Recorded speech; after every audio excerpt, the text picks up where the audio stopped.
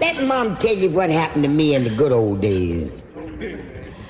You couldn't do nothing you wanted to do. And you better not open your mouth. If you did, they'd knock your brains out. they hit my brother in his mouth so much with a backhanded lick until his lips is way out here. Looked like he got on a turtleneck sweater.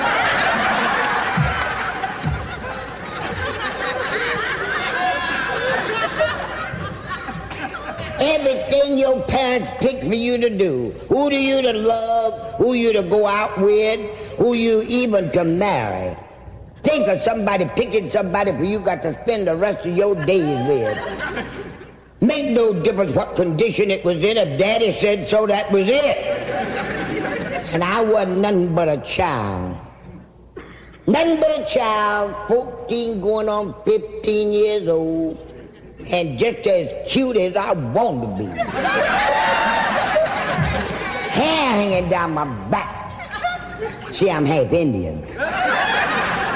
And the other half, the beauty parlor takes care of that. and this old, dead, puny, moldy man I mean an old man. Santa Claus looked like his son. He was older than his mother. He was older than his sister died. We went to the funeral. After the funeral, the minister walked over tapped him on the back. Said, How old are you, Pops? He said, 91. He said, Ain't no need you going home.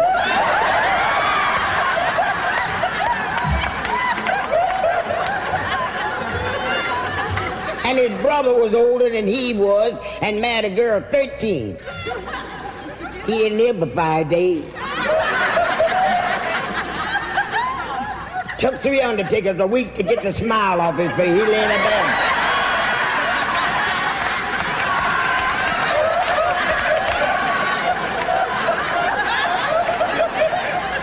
First time I ever seen him bury a man with no top on the casket.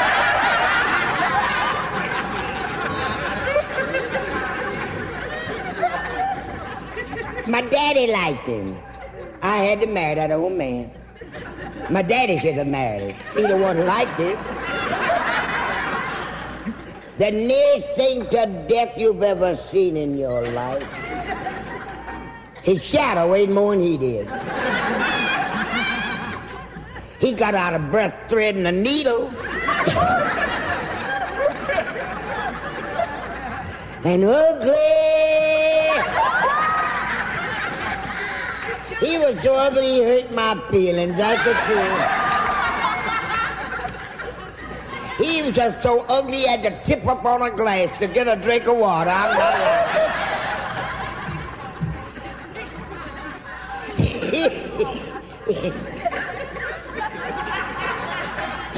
he was so ugly. He had a job at a doctor's office, standing beside the door making people sick. One day I said to him, I said, you get that number? He said, what number?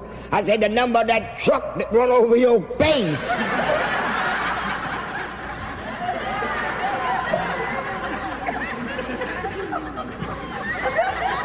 One night I said to him, I said, come on, darling, let's be sociable.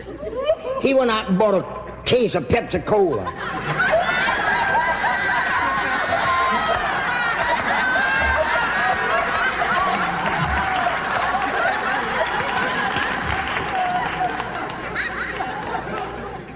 Thought he never would die.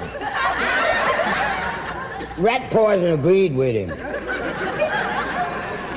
I never forget when we went up to get married. We stand up there in front of the man. The man looked at me and said, Will you take this man? Some undertaker jumped up and said, I will.